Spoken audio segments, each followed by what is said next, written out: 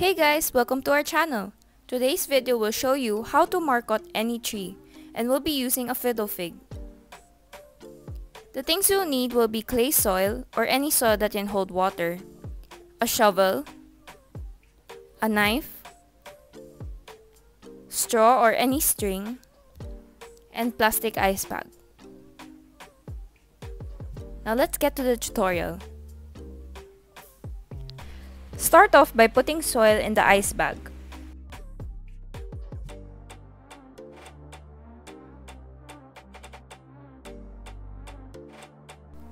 Take note that the best time of the day to marcot is at the coolest part of the day to ensure that your marcot doesn't dry out.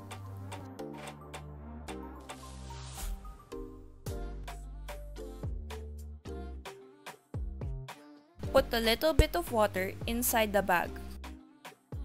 We do this so that the soil will be wet and the roots will form. Make sure you didn't put too much water or else it will leak out and make a mess.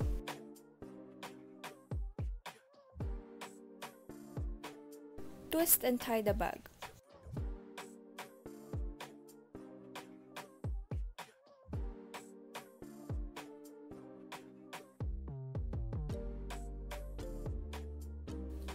Cut two rings in the bark where you want to have the marcot and then peel it.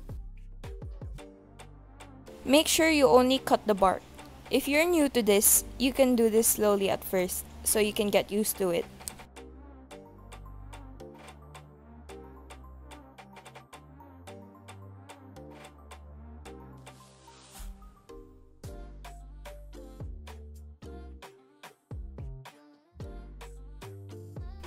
You're probably thinking at this point, why do I have to give so much effort in doing this? Well, taking out the bark and after this the cambium layer will increase your chances of growing roots in your marcot. So be patient. It'll get easier as you practice.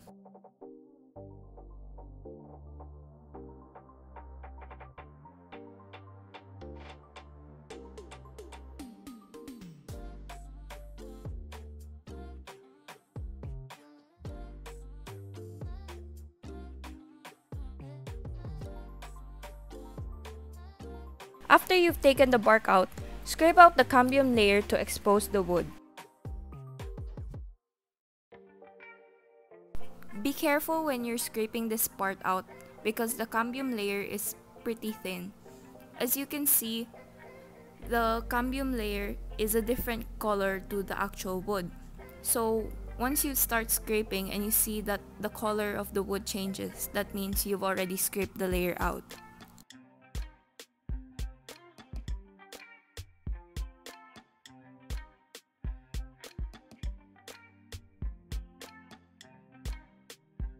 Now get your plastic bag and cut the side of it open.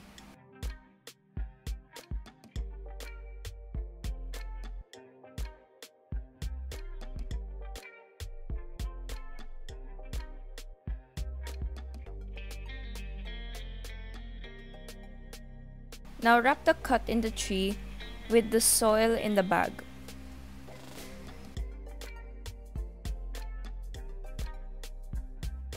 Tie the bag securely with the straw or any string that you have at home.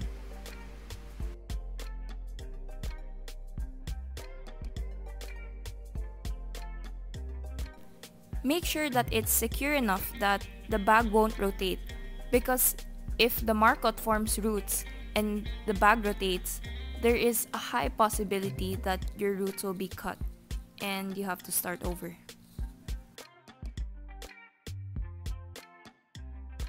If you're wondering when you can take this out, you can take it out when you observe that a lot of roots have formed.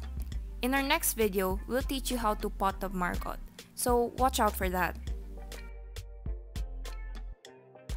Remember to put your marcot in the shade and always check on it, especially to see if it's dry.